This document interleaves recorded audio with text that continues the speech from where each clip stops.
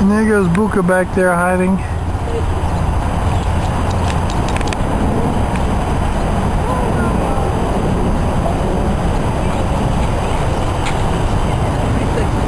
I know.